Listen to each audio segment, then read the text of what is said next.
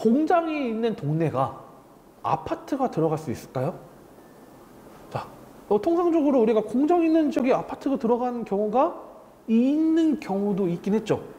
어디? 딱 서울 생각해보면 성수동 같은 경우 보면요. 뭐 주상복합식으로 해서 뭐 들어왔죠. 그런데 기본적으로 우리가 공장, 물론 뭐 전용공업지역이라는 지역도 있고 준공업지역이라는 지역도 있는데 통상적으로 공장 있는 지역에는 뭐 오피스텔이 들어오고 뭐 물론 아파트도 일부 들어올 수도 있지만 용도에 맞춰서 문제가 된다. 그런 내용도 있었죠. 근데 이게 과감하게 바뀌었습니다. 어떻게 바뀌었냐? 국토부에서 1월 5일날 발표를 합니다. 도시계획 혁신 방안을 발표를 하는데 원래 현행은 주거 환경 보호를 위해서 토지의 용도하고 밀도를 엄격하게 구분해서 운영을 했습니다. 그래서 주거는 주거, 상업용은 상업용, 그 다음에 뭐 공업 용지는 공업 용지를 정확히 따지고 뭐 주거 이종 주거는 이종 주거, 그 다음에 뭐 공업지역 공업지역, 상업지역은 용적률 그런 거 건폐율을 엄격하게 분리를 했, 어, 구분했어요. 근데 이거를 과감하게 변화를 시키고 1월 5일날 발표를 했습니다. 어떻게 하냐면 질주 근접과 고밀 개발, 복합 개발 등 이런 새로운 공간 전략 요구에 따라서 도시 계획 혁신 방안을 5일날 발표했습니다. 자, 그러면 우리가 뭐 기사 많이 보면 용산 정비창 수혜 혜택을 된다. 뭐 이런 아는 내용을 갖고 투자를 하기에는 이미 가격 비싸죠. 그렇다고 하면 모르는 지역 또는 앞으로 이런 정책에 따라서 투자 전략을 잡아야겠죠. 자, 이거를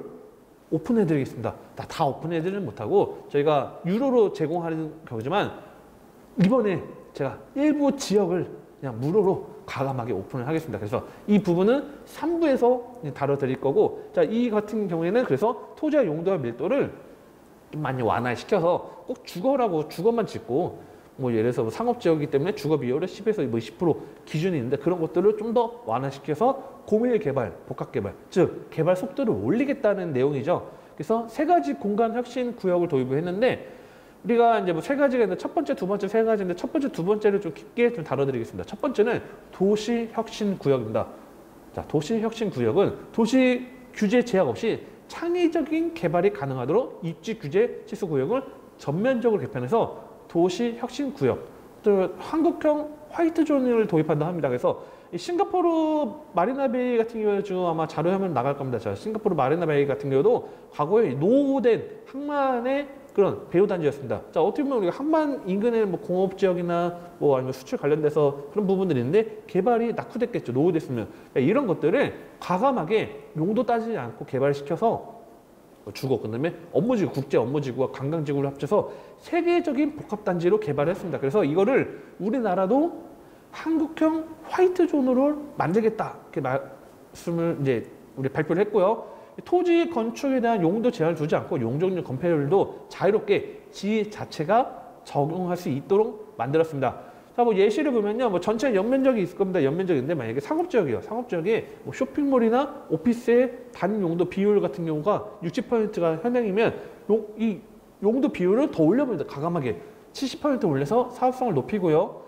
주거 비율 같은 경우도 뭐 기존에 최대 뭐 40%까지 있다고 하면 50%의 추가적으로 더 올릴 수 있는 알파까지도 도입시킬 수 있게 해놨습니다. 다시 다만 50% 이상 알파 같은 경우에는 수익이 너무 극대화되면 형평성에 어긋나기 때문에 뭐 임대주택이나 이런 개발 수익을 환수하는 장치도 만들겠다는 내용이고 자 그래서 뭐 주거용으로 더 늘릴 수 있고 뭐 어떤 지역도 또 특별한 지역들은 단일용도 비율을 올릴 수 있다는 건 바로 사업성이 높아지고 또 아까 말씀드렸던 것처럼 용적률에 대한 것도 과감하게 틀을 깨기 때문에 사업성이 올라간다 또는 고밀 개발할 수 있는 그런 제조적인 장치들이 만들어지고 있다는 거죠. 그래서 뭐 용산 정비창 같은 경우도 뭐 대규모 부지, 엄청나 높은 이런 부지들이 더 높, 용적률 높이 개발할 수 있기 때문에 사업자들이 자, 유롭게 개발할 수 있는 그런 요소들을 만들었다는 것도 하나 좀 중요한 내용이라고 보시면 될 것 같고요.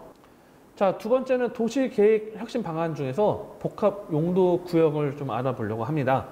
자, 이 복합 용도 구역이 저는 좀 이슈적인 부분이고 앞으로의 투자처를 찾아낼 수 있다고 좀 보고 있습니다. 자, 지금은 현행은 주거 지역은 주거만 이용을 해야 되고 또는 상업 지역은 상업 지역만 이용을 해야 되는데 이제 이게 교차가 가능합니다. 자, 주거 지역 내에 상업 시설도 설치할 수 있고 또는 공업 지역 내에다가 주거나 상업시설을 설치할 수 있습니다.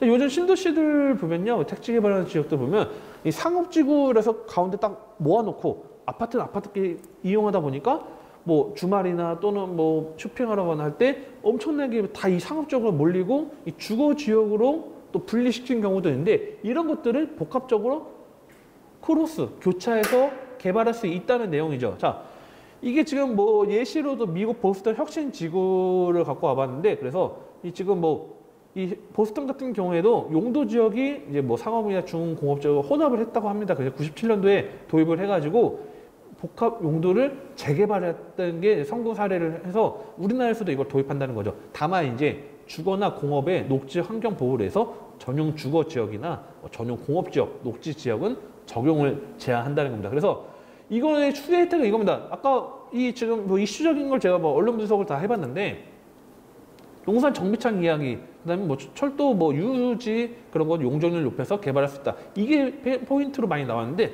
저는 좀 시각을 좀 다르게 체크하시는 게 어떻게 보면 우리가 보면 블루오션 시장 접근할 수 있지 않을까. 이게 바로 공업 지역을 좀 눈여보시면 될 것 같습니다. 자, 이 노후 공업 단지나 세택 구도심 등의 이 주거 문화 업무 복합 지역을 점진전 전환해서 직주 근접 수요 등에 기대할 수 있게 하겠다가 국토부의 발표인데 자, 이 내용에 대해서 공업 지역을 좀 눈여겨보시라. 그러면 전용 공업 지역을 제외하고요. 일반적 공업 지역들 중에서 노후된 지역들이 있을 겁니다. 자, 이런 지역들이나 또는 좀 구도심, 좀 오래된 낙후된 구도심 같은 경우에는 좀 상당히 낙후되어 있는데 상업지역 같은 경우도 있어요. 옛날 뭐 상가들 뭐 3층짜리 상가 또는 뭐 오래된 상가들 개발이 안 되고 있고 과거 구도심이라는 지역들 쇠퇴되는 지역들이 있는데 자, 이런 지역들이 반대로 주- 주거 아파트 단지로도 들어올 수 있고요. 용도 지역 변경이 가능하기 때문에 또는 업무 시설로 또 들어올 수 있다는 거죠.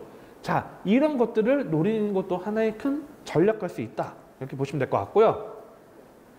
이런 것들을 좀 체크해서 뭐 정책이라는 거는 우리가 아 그냥 이런 거보다 생각하는 좋지만 생각의 전환을 하는 것도 어떻게 보면 앞으로의 투자 전략을 나갈 수 있는 것도 좀 답이 나오지 않을까 이렇게 좀 생각 드리고 자 3부 시간에서 또 이슈적인 부분들 그 다음에 유료로 풀어드리는 것 중에 일부를 제가 과감하게